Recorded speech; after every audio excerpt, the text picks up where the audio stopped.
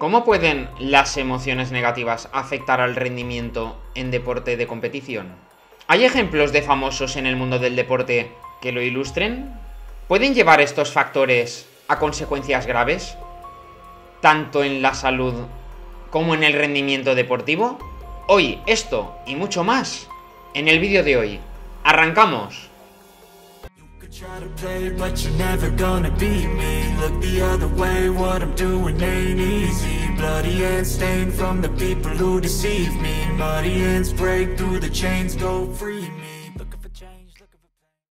Hola autoexigente, te doy la bienvenida a este nuevo vídeo, donde vas a descubrir cómo las emociones influyen en tu rendimiento. Hola autoexigente, te doy la bienvenida a este nuevo vídeo, donde vas a descubrir el poder de las emociones, cómo influyen tanto en tu rendimiento deportivo como en tu vida diaria. Y por supuesto, también en tu salud. Antes te quiero contar una historia personal, para ilustrarte un poco el conocimiento de este contenido. Bien. Yo no soy muy fan de tomarme componentes químicos, pues medicamentos, bueno, repito. Yo no soy muy fan de tomarme medicamentos, componentes químicos para cualquier cosa, la verdad, ni para un resfriado, ni para aumentar el rendimiento, ni nada. Eso sí, reconozco que muchas veces hay que tomarlos. Sobre todo lo que son los medicamentos y sobre todo con prescripción médica. Pero lo que te vengo a decir, durante una temporada hace muchos años, quise apretar un poco mi entrenamiento en verano para reducir más mis abdominales y que se vieran, pues eso, más bonitos. Entonces para ello recurrí a un componente que me vendieron en una tienda deportiva, que era un quemagrasas, un tipo quemagrasas. Yo realmente ni miré lo que llevaba, ni te sé decir ni cómo se llama ese producto, ni los componentes que tenían químicos, ni muchísimo menos, porque tampoco lo miré. Solo sé que tomarme una pastillita de esas me ponía del 0 al 2000. Yo nunca había sentido tal cantidad de aceleración en mi corazón. Eso supuso que yo cogí mi coche para ir a entrenar al gym y me encontré con que una persona casi se salta un stop. A mí en ese momento se me comió la emoción, se me comió la ira, me quería comer al otro conductor. Casi bajo del coche y todo. Hasta que por un momento de lucidez pensé que simplemente con eso era suficiente. Menos mal. Porque encima me di cuenta de que aunque no estaba cerca de mi casa, era un compañero mío de colegio de la infancia. Por lo que acabé pidiéndole disculpas más adelante. Pero tal fue la furia y cómo se me apoderó con ese componente químico que te digo en mi cerebro que me hizo perder totalmente la lucidez y el dominio de mis emociones. Totalmente. Perdí los papeles por un momento. Entonces lo que te quiero ilustrar es cómo se te puede ir la cabeza mediante algún componente, mediante alguna mala situación, mediante una mala gestión, en resumen, de ti o de tus emociones. Tuve la suerte de que este ex compañero de la infancia, pues me reconoció, se quedó como en shock, no reaccionó a mi alteración porque si hubiera bajado también del coche no me hubiera reconocido o le hubiera dado igual reconocerme y nos hubiéramos encima envalentonado en cosas peores, pues hubiera acabado la situación muchísimo peor para los dos. Pero por suerte él no reaccionó así y a mí, como te he dicho al principio de esta historia, me dio al final como un momento de lucidez de decir, Luke, para, ya está. ¿Por qué te cuento esta historia? Porque el look de aquel entonces no tiene que ver nada en absoluto con el look de hoy en día. Bueno, ni que decirte que en aquel momento, inmediatamente cuando llegué a casa, paré de tomarme ese componente, ese quemagrasas creo que se llamaba. De hecho, es más, los tiré a la basura. Y me dio rabia porque era una caja enorme completa. Pero es lo que hay. Y menos mal que los tiré porque luego consultándolo con un experto me dijo que quizás yo tenía algún grado de intolerancia a algún componente y me podía haber provocado en un futuro si seguía tomándolo un infarto, explicándole yo simplemente el motivo de cómo se me aceleraba el corazón. Pero bueno, como te iba diciendo, el look de entonces no tiene nada que ver con el look de ahora. Ahora, si crees que cuando avanzas en la vida es cuestión de suerte, te digo que en mi caso, por supuesto que no tiene nada que ver con la suerte. tiene mucho que ver con lo que es el desarrollo personal. Que eso me ha llevado a un mayor control sobre mi mente, sobre mis emociones, sobre mi salud física, sobre mi alimentación y muchos hábitos. Pero mucha gente no entiende lo que es esto del desarrollo personal. Y me dicen, pero dame un secreto, dime algo para que yo tenga desarrollo personal, para que yo mejore, para que yo crezca, para que yo evolucione. Y la verdad, autoexigente, no tiene nada que ver con ningún secreto, ni ningún tip concreto. Tiene que ver en quién te conviertes cuando vas aplicando y vas creando hábitos en tu vida de esta manera. Y aparte de esto, como te digo, lo que te quiero hablar es de esas emociones que te pueden matar. No literalmente, que también, como has visto mi caso en la historia anterior, si hubiera seguido tomándome ese componente a saber que hubiera sido de mí,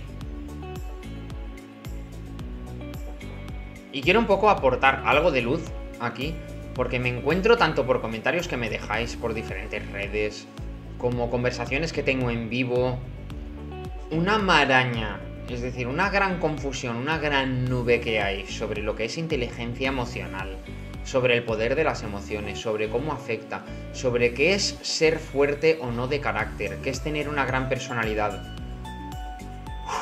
respiro, porque hay tal confusión que en estos momentos me daría para un vídeo de dos horas. Pero al grano, vamos a aterrizar y vamos a hacerlo de la manera más práctica y directa posible para que me entiendas y no te vayas hasta el final. para ser fuerte mentalmente, para tener una mentalidad implacable, también tienes que ser una emocionalidad implacable.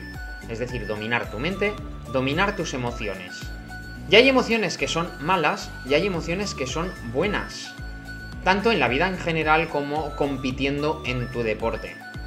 Michael Jordan es uno de los jugadores que yo he visto, he tenido la gran oportunidad de ver, que no recuerdo, seguramente lo habrá, pero es mi memoria. Y de verdad, no recuerdo un momento en el que se haya dejado llevar por malas emociones, por sacarle del partido era un crack jugando, pero era un todavía más crack en el dominio de sí mismo. Porque estaba con la atención y la concentración siempre a full en las tareas del desempeño del partido.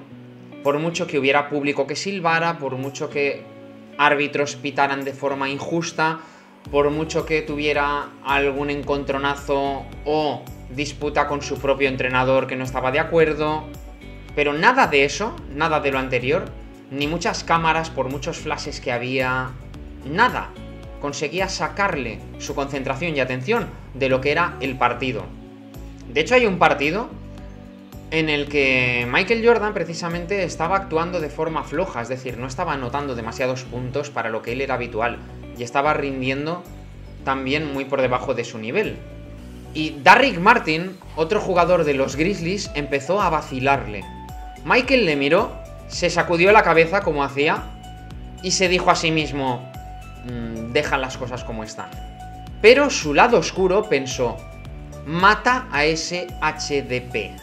HDP, diminutivo de toda la palabra, para evitar suspensiones del canal. Pues a partir de ahí, Michael Jordan entró en modo ataque. Tuvo una racha increíble y anotó 19 puntos en el último cuarto, liderando la victoria de los Bulls. Y aquí es donde quiero pararme para hacer un análisis. Cuando normalmente la gente escucha mata a ese HDP, nosotros pensamos que es que tiene que ir cara a él con un cuchillo, darle cuatro puñaladas o sacar su musculatura, emprenderla a golpes por vacilarle y dejarle cao, a ver quién puede más y a ver qué trifulca es la más nombrada al día siguiente en las noticias. Pues si piensas eso, la verdad es que te voy a decir algo importante. Eso es de ser débil. Porque esas emociones te hacen ser débil. Te lo repito, eso es de ser débil. Entrar en provocación. Michael nunca se rompía. O lo que te he dicho antes, quizá alguna vez sí, pero en líneas generales nunca, nunca o casi nunca se rompía. Rompía su carácter, es decir, se venía abajo emocionalmente. Así que como te digo, tanto en la vida como en el deporte, las emociones te vuelven débil. Cuando te sales de tu atención y concentración de lo que tienes que hacer, da igual que sea de tu trabajo, de tu deporte, de estar con tu pareja, de lo que sea, y te saca de ahí y entras al trapo y pierdes los papeles, te vuelves débil. Como yo con mi primera historia que te he contado. Más débil no podía ser.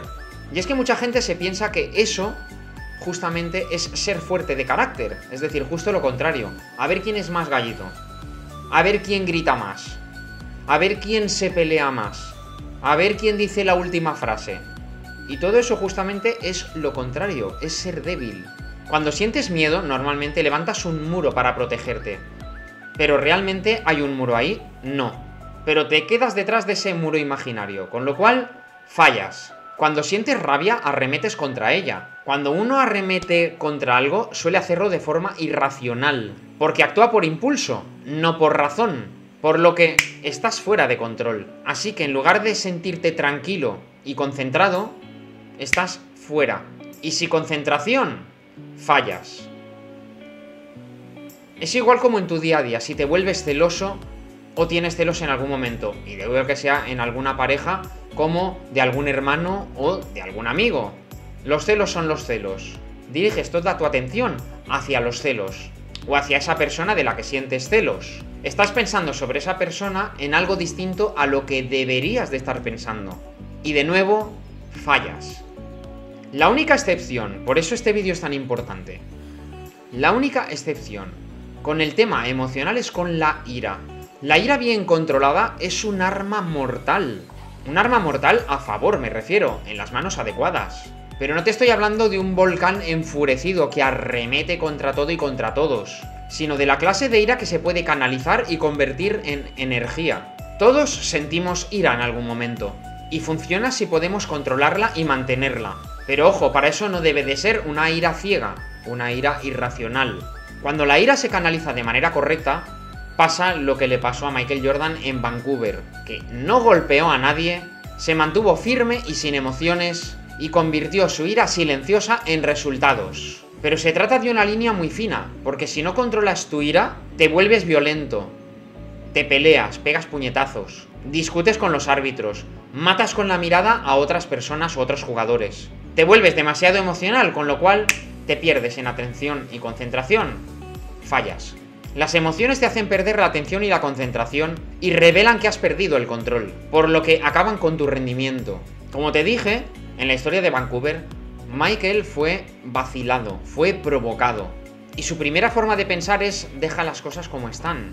Si dejara las cosas como están, también perdería los papeles, no por nada, sino porque se volvería débil. Estaría pensando simplemente en que no me digan nada, que este lo tenga lejos, que no me afecte, que... Y entonces empiezas a pensar, y en el momento que empiezas a pensar, sobre todo en esa persona que te está incordiando, entonces pierdes los papeles, porque te hace volverte débil, te empequeñece. Pero aparte de ese pensamiento, lo que te dijo, repito, pero aparte de ese pensamiento también sacó ese instinto que sale solo, que tenemos todas las personas, que le dijo, mata a ese HDP.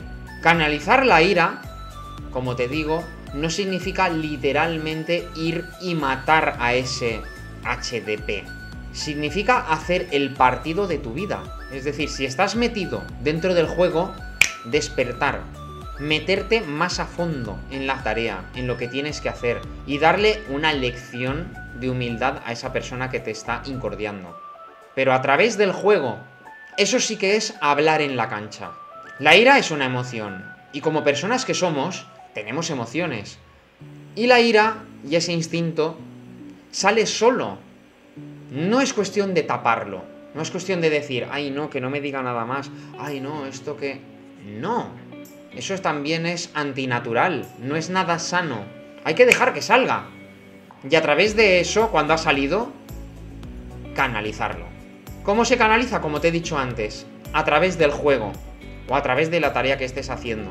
Y da igual que sea en un deporte, en tu trabajo, que en lo que sea. Canalízalo a través de eso. Porque hay dos errores muy grandes a través de las emociones. Y es cuando somos provocados y pensamos de la manera de, bueno, no voy a decir nada, no voy a decir nada, pero que no me atosigue porque me está afectando. Uf, qué pesado. Uf, qué mal. Uf, ya está otra vez. Entonces, eso nos va cargando y contaminando por dentro. Eso es insano totalmente. Eso tampoco sirve de nada. Lo único que haces es reprimirte y reprimir todo lo que estás...